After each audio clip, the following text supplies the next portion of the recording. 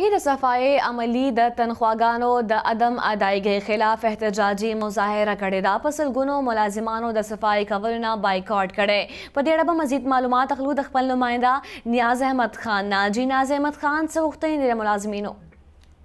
جی نور بالکل د سوات، د ټي ایم اې او د واسا ملازمین چې پای کې د صفائې عمله هم شامله ده او اوبه ورکونکې ادارې چې ټیوب ویلې چلوي هغه هم شامل دي. هغوی د پرون راهیسې احتجاج اعلان کړی دی، که دوی چې دی نو د صفایۍ د کار نه چې دی نو هغه انکار کړی دی، دغه رنګې نن چې دی نو پنځوسو د مینګورې او خوا او شا ټیوب ویلې چې دی نو هغه بندې دي، نو د هغې نه لکونو خلکو ته د اوبو سپلای هم بنده ده. د دوی وینا دا ده چې دوی ته تنخاګانې نه میلاویږي، دوی کوم چې ډیلي ویجز یعنې د ورځې په حساب سره دوی ته کومې پیسې ورکوي هغه هم بندې شوې دي او دغه رنګې د دوی د مستقبل هم پته نه لګي چې دا تقریبا څه درې درې نیم سوه کسان دي دوی چې دی نو د سیدي شریف نه والا تر مینګوره پورې احتجاجي چې دی نو مظاهره وکړه بیا په ټي ایم ای دفتر کې دننه دوی چې دی نو باقاعده د ټي ایم ای آفس او د واسا چې کومه د صفای اداره ده د هغې خلاف چې دی نارې والي مشران ویل چې تر څو پورې د دوی غوښتنې نه پوره شوي نو دوی به د صفای کار بندیز کوي دغه رنګ دوی به هم نه ورکوي دوی دا ګیله وکړه چی زسپای عمله دا ډیر خواریکښ دی غریبانان دی عجزانان دی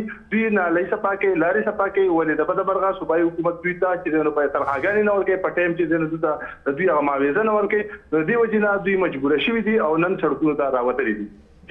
جی مننه نیاز احمد خان معلومات راکولو دا زمونږ نماینده نیاز احمد خان چی تفصیلات نه مونږ خبرولو.